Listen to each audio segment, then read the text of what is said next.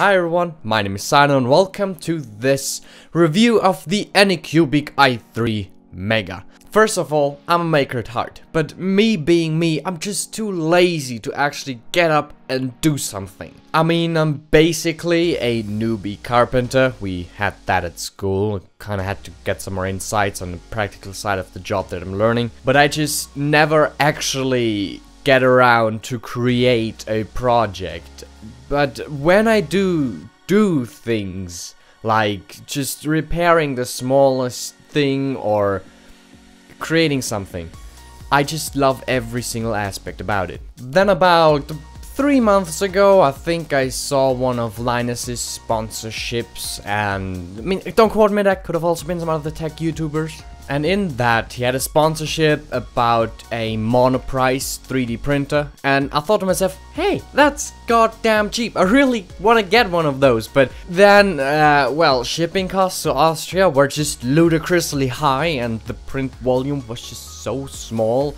that I had to look more in depth into the topic and that did some research on. But I had a pretty set in stone idea about what the printer should be capable of generally about the printing volume and also printing and construction quality. So in the first round of who will be Patrick's new 3D printer, there were some contestants that were just too goddamn expensive. So, after putting budget and, well, common sense into the equation, it boiled down to one printer from Monoprice, another one from Anycubic i3, and then the one I picked, the Anycubic i3 Mega, in the end, it was pretty obvious which one to choose. I was pretty skeptical about the Monoprice and the Anycubic i3 because they're 3D printing kits.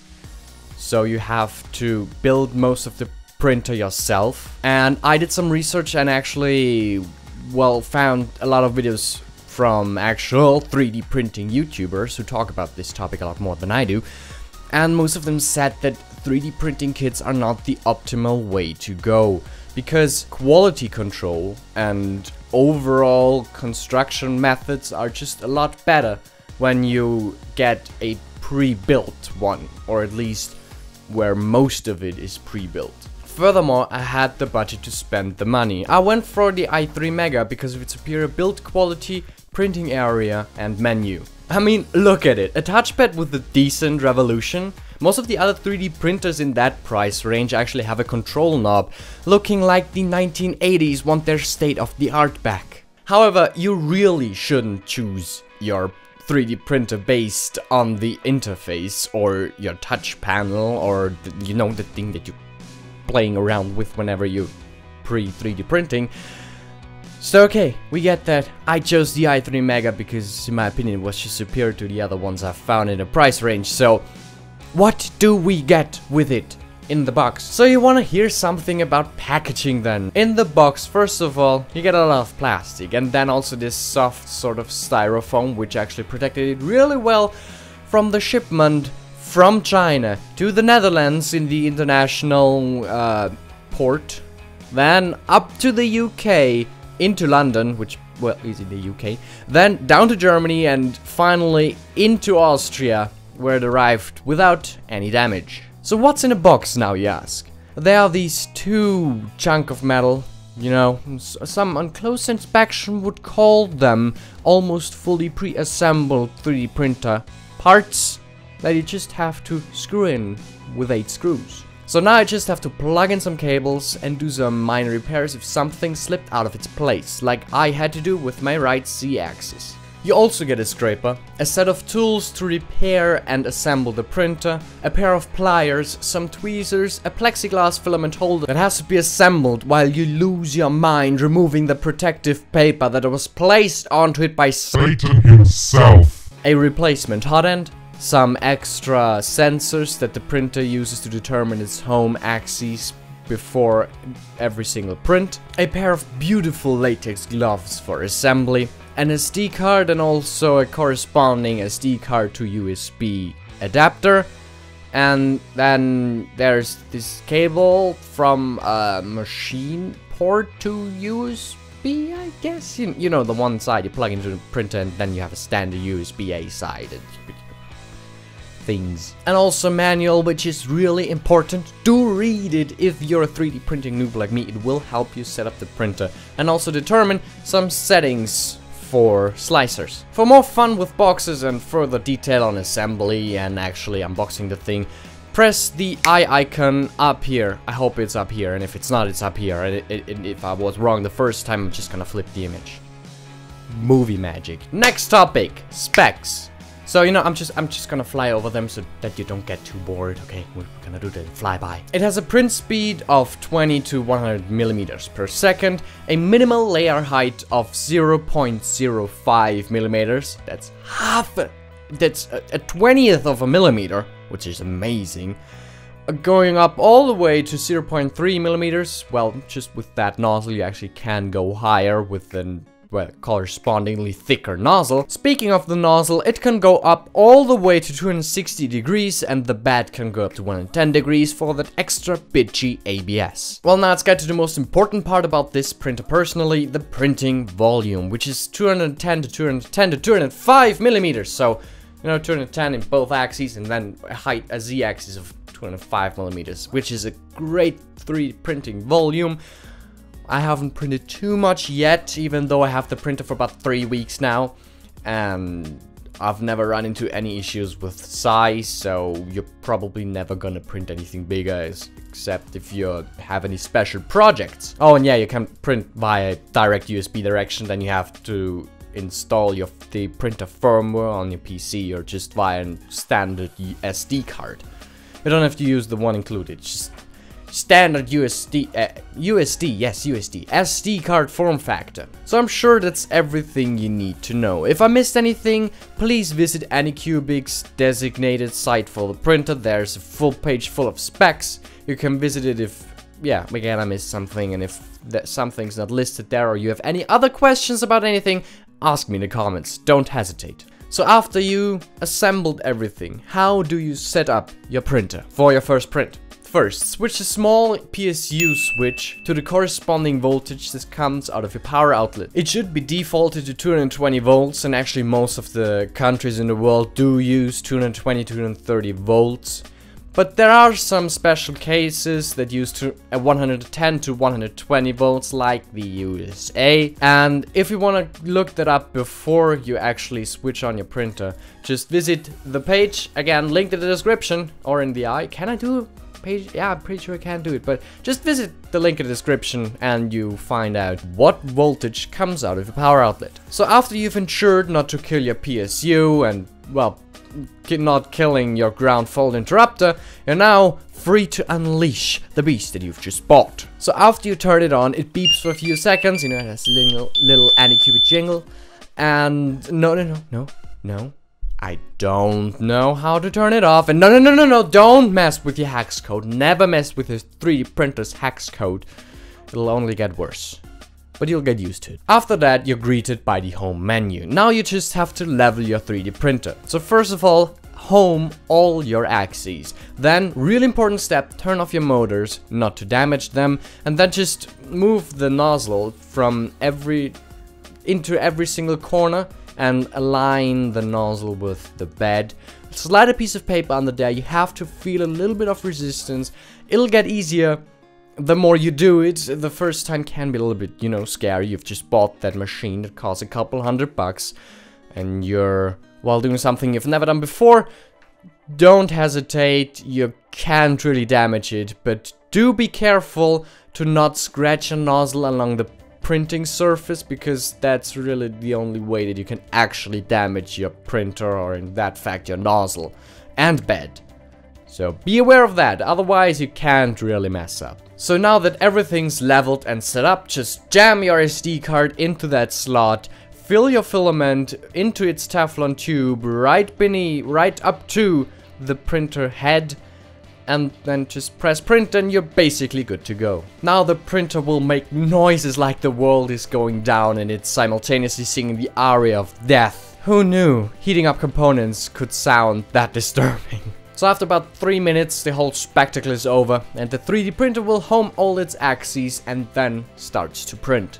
Great, now you'll know if your leveling job was top or a flop. If for the first few millimeters your filament is not sticking to the bed, it doesn't matter. Don't worry about it. You're usually printing with a skirt around the print uh, printing part before so that you're uh, that you're assuring that it's actually doing everything correctly and the filament is whole sticking to the surface. But if after an uncomfortably amount of time that this filament still isn't sticking to the surface and you're just wasting plastic. Stop the print, press and print, don't worry about anything, home all the axes again and redo everything. I, I, I do recommend you waiting before leveling again because the part should cool down a little bit before you're doing it again. I don't, you don't want to burn your hand while leveling. With this printer's bed, you don't have to apply any glue or other rough surfaces like you have to do in other printers because this printer's bed is preheated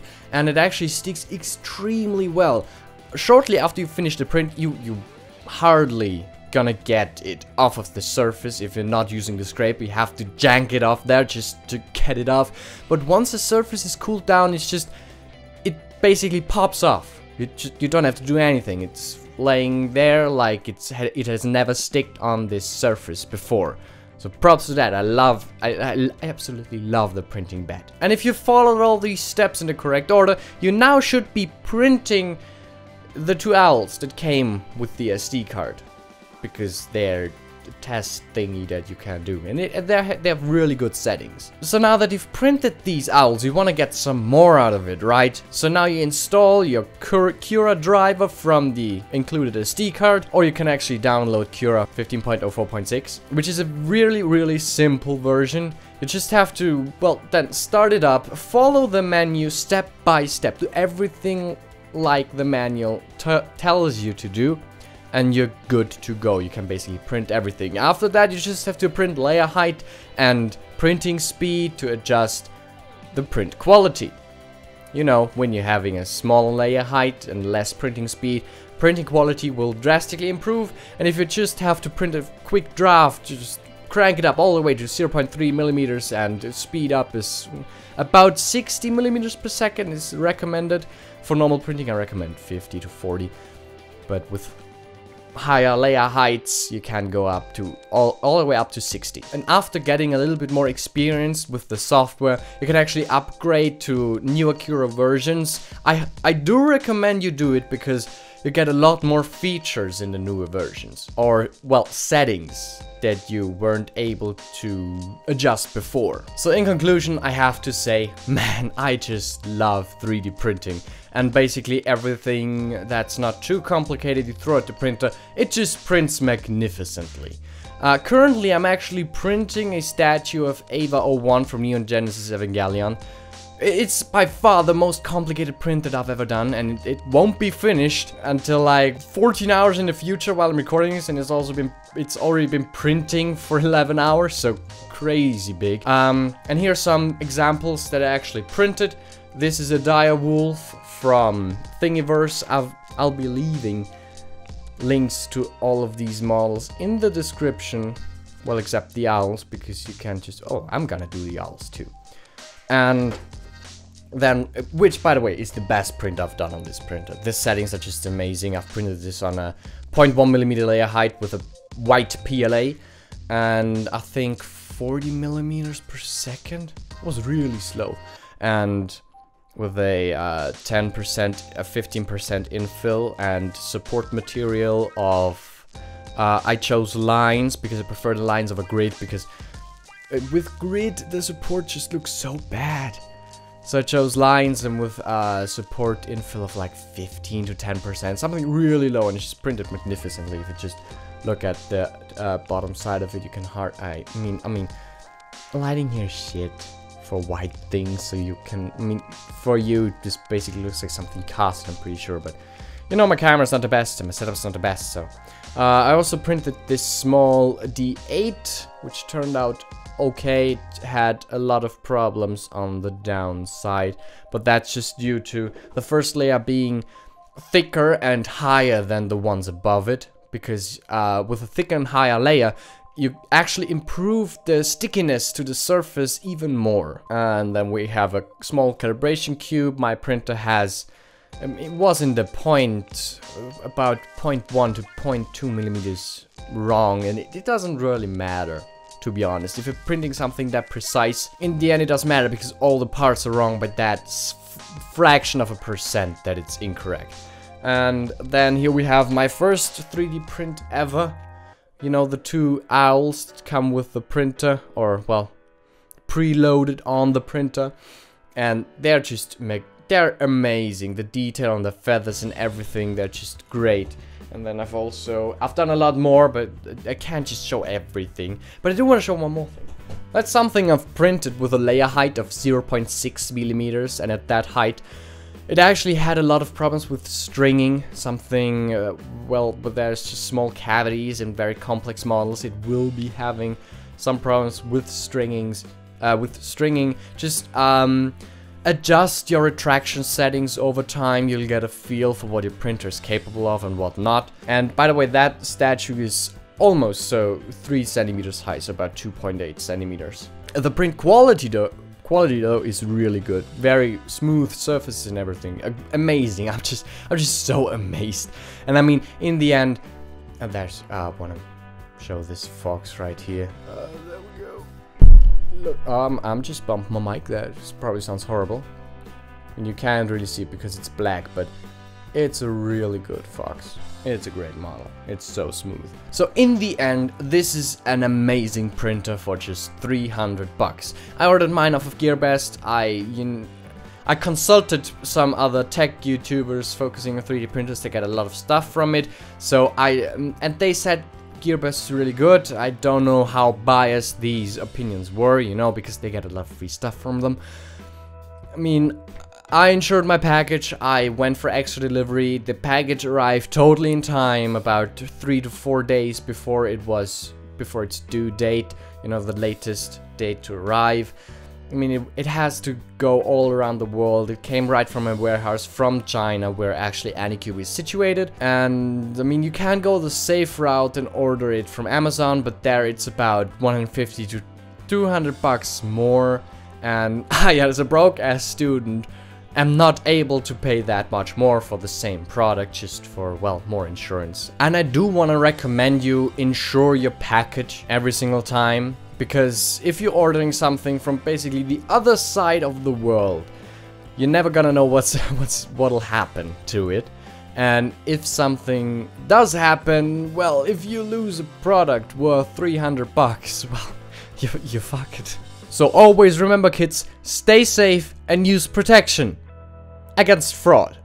Yes, fraud. Thank you everybody for watching this video. I hope you really enjoyed it. This was actually my first scripted video and I hated it so much at first remembering all the lines but after a few minutes you get the gist of it uh, no not the gist of it but the, yeah, actually this gist of reading from a piece of paper and then re-giving its context out of your mouth into a microphone and a camera at the same time. So I'm basically a multitasking talent.